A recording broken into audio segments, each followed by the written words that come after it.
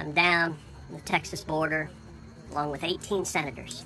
We made the trip to see the crisis that is playing out. It's a humanitarian tragedy, but it's literally insane policy. They toured the Rio Grande, the Democrats say. A photo ops with Susan, Chuck, and John. Cause up to now they didn't give a rat's say. This is madness. About any border crises going on. They ought to be embarrassed by their hypocrisy, stringing their constituents along. It's time to take back the border. But ain't it only like the corrupted GOP, pretending like they don't know right from wrong? Yeah, right. I know. They suck. That's why everyone loves to hate on Ted and Lindsey. Their problem isn't popularity.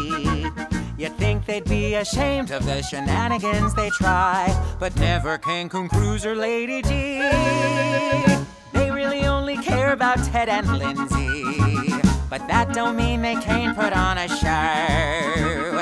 When Texans are in peril and of his support, old Teddy's right there on the ground and holding down the fort. Well, unless he's relaxing down by the pool at a fucking five-star resort, he's gone about as low as he can go. Not yet. He's gone about as low as he can go. Everyone loves to hate on Ted and Lindsey, from Washington D.C. to Santa Row.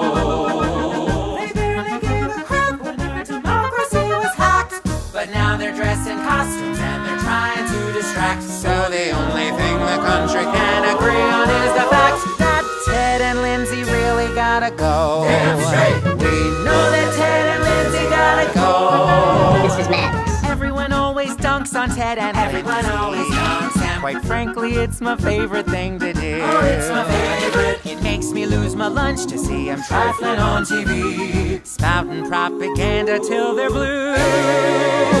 Everyone loves to hate on Ted and Lindsey. Who cheered on every coup and quid pro quo. Well, one day Lindsey jumps through hoops when Daddy Donald calls. The next he's clutching pearls when his supporters climb the walls. Then he's back in the game playing golf with his buddy and begging to hold his balls. They've gone about as low as they can go. Ugh, gross.